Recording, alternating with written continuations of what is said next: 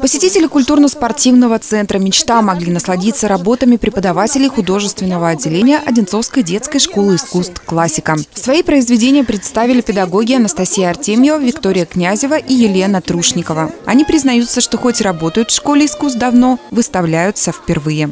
Работаем уже мы давно, а вот выставляемся в первый раз. До этого мы всегда выставляли работы наших учеников, наших учащихся. Это были и выпускные работы, это были академические текущие работы, это были и творческие работы. Вот. Ну и вот наконец-то э, мы удосужились сами, вот сами педагоги, сделать здесь свою выставку. Здесь представлены работы в технике живописи и графика. Елена Трушникова отмечает, что ее картины можно назвать путевыми заметками. Куда бы она ни ездила, отовсюду привозят новые зарисовки. Идея создать выставку педагогов появилась давно, но воплотить свою задумку им удалось только сейчас.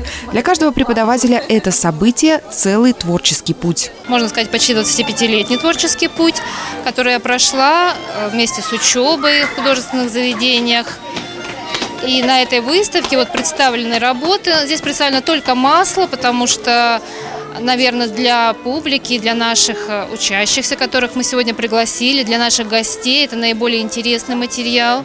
Живописью преподаватель Виктория Князева увлеклась в пять лет, когда мама впервые привела ее в кружок рисования. Несмотря на свой юный возраст, педагог обладает многолетним опытом работы и множеством достижений.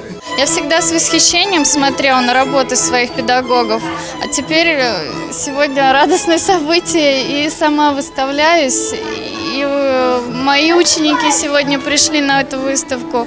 Вот смотря на них, вспоминаю, какая я тоже была маленькая. Выставка «Цвет вдохновения» будет проходить в КСЦ «Мечта» в течение месяца. Увидеть работы художников-преподавателей можно совершенно бесплатно. Мила Тарасевич, Алексей Лагутин, Станислав Трифонов, телекомпания «Одинцова».